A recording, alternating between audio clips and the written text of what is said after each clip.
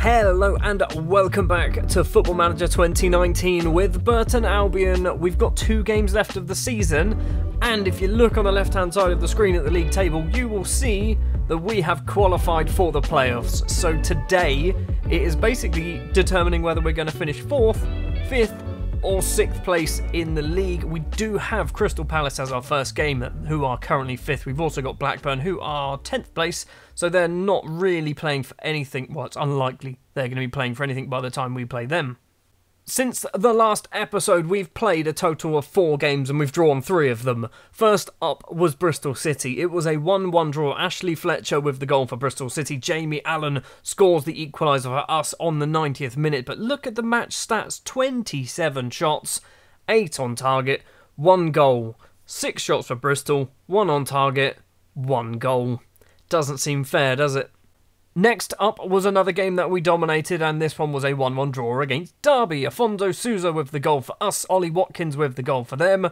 It's another point. We do keep our unbeaten run going, and as you've already seen, we do still manage to get into the playoffs anyway, so it doesn't really matter what these results are.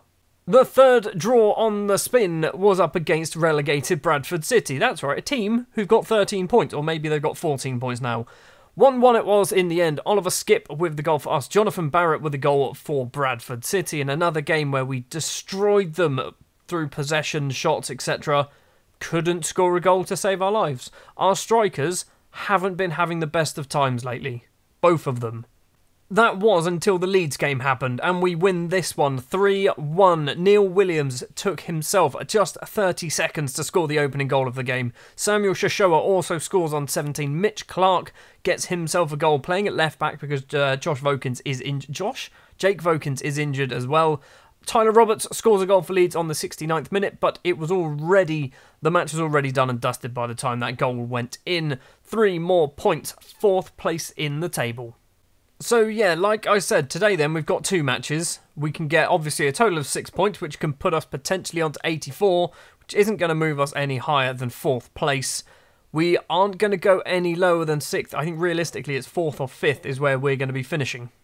Match number one then of the episode, the 45th game of the season. One more to play after this one. Crystal Palace are our opponents. Fifth versus fourth. If we lose, we will drop down to fifth place in the table. But I, to be honest, I'm not too fussed now if we lose. And by I'm not too fussed, I'm still going to play a very strong side. So, in goal is Curtis Anderson, Jason McCarthy, AD Stevenson, Mark Gui, and Mitch Clark will be the back four. As I said earlier, Jake Vokins is currently out injured, which is why Mitch Clark is going to be the left back.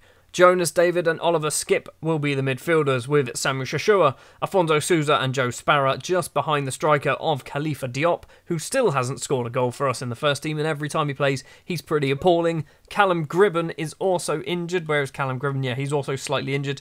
I'm not going to play Gribbin or Vokins for the rest of the season until we get to the actual playoffs because I don't want them to get injured. Also, Gilson Costa, I've got him in on trial. Apparently, he's not very good some of the more eagle eyed of you might have actually spotted that a few of these players in my team had the word bid next to them.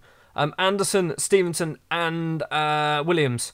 I'm, I've also I've all gone in for them to reloan them for another season. So hopefully they will all sign. I can't get Mark Gui for another season. I can't get Skipp for another season. I can't get Vokins for another season because his contract is expiring. He is most definitely on my list of players to try and sign at the end of the season if he wants to join me. One thing I was thinking of earlier is Joe Sparrow. He's a real Burton player. Corner comes in. oh, I thought Diop scored. It was cleared off the line. Yeah, Joe Sparrow is a real Burton player, and I get the impression he's a bit like an Adam Lallana was at Southampton. He's going to come up through the leagues, potentially get to the Premier League with us. Although I don't know whether he's good enough for the Premier League. I, Lallana clearly was. 10 minutes to play of the first half, and it's not exactly been a very exciting game at all, has it?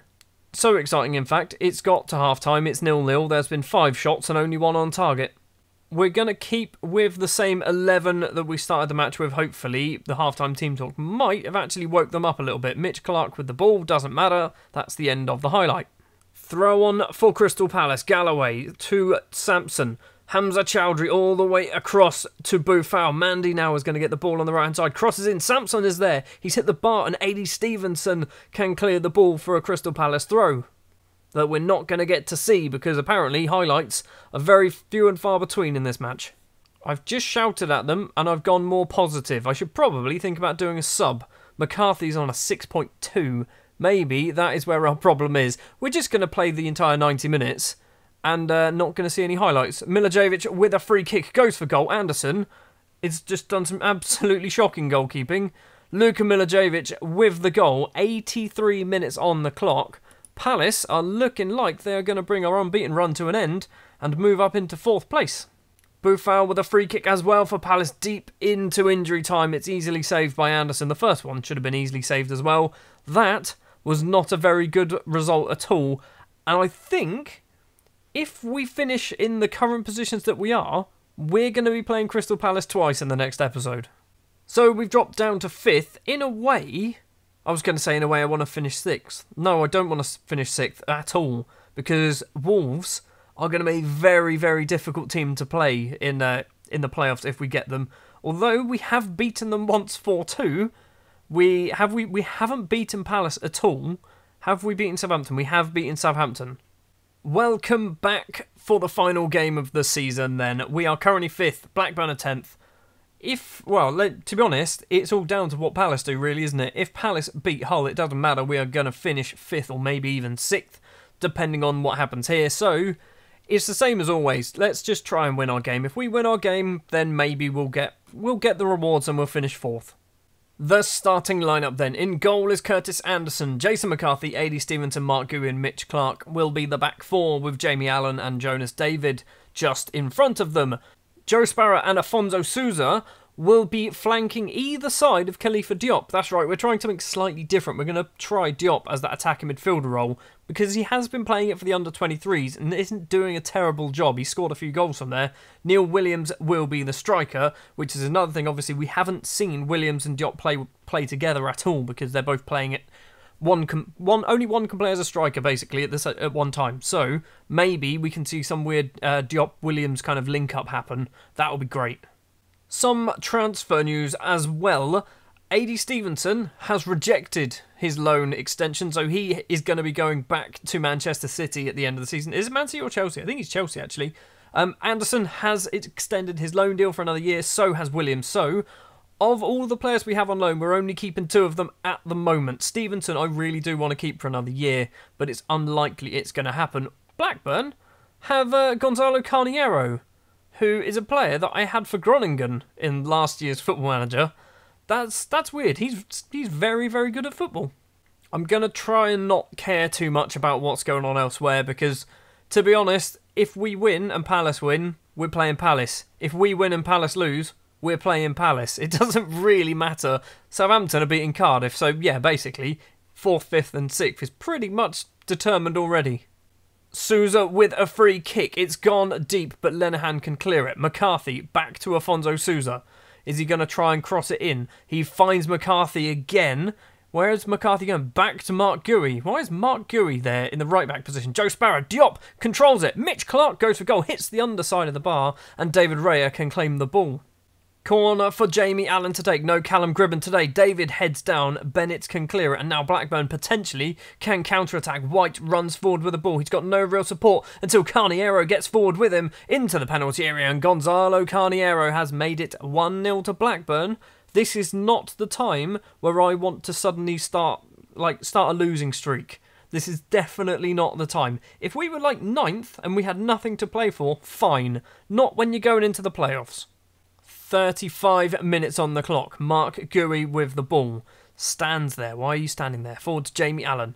Once again forward, this time to Jonas David. Sousa to Diop in the centre circle. Runs with the ball. Plays it across. Finds Jason McCarthy. What a ball that was. Plays it back to Allen. Afonso Sousa. Joe Sparrow. Jamie Allen. Sousa again. Takes a couple of touches. David. Mitch Clark is in the area. And Mitch Clark has had all of our shots so far. Why is our left back getting the best goal scoring opportunities?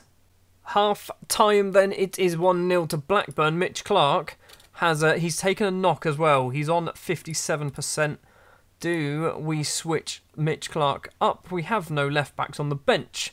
So what we're going to do, Mitch Clark is going to come off for Cameron Humphreys. Gouy's going to go over to left back. Um, Khalifa Diop not doing so well in that attacking midfield role either. Next season, I think Khalifa Diop is probably going to get loaned out, maybe to like a League One side, and hopefully he can start playing well in League One.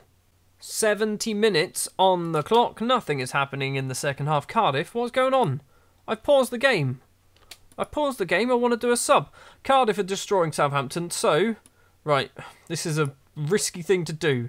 Do I... It doesn't matter, we're going to lose, but we're going to finish fourth, fifth. Sorry, we can't finish any uh, any lower. We're going to bring on Shashoua. We're also going to bring off Sousa for Gribbin. I did say Gribbin wasn't going to play until the end of the season, but we're going to have to bring him on now, unfortunately.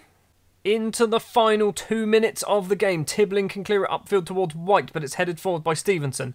Allen can't play it past the uh, the red-headed midfielder there of Blackburn. Cuevas on the left. Forward ball tries to find White. McCarthy nicks the ball away. It was a tackle from behind, but somehow gets away with it. Gribbin, Shashoua, long ball upfield to Diop. Is this the time? That is most definitely the time. Khalifa Diop sticking him up front with two minutes to go, has equalised against Blackburn Rovers. It's not going to mean anything in the grand scheme of things, but I'm bloody relieved that Khalifa Diop has finally scored a goal. It's taken until the last game of the season, but the Senegalese international, he actually has caps for Senegal, has finally scored. Don't say it was offside, good.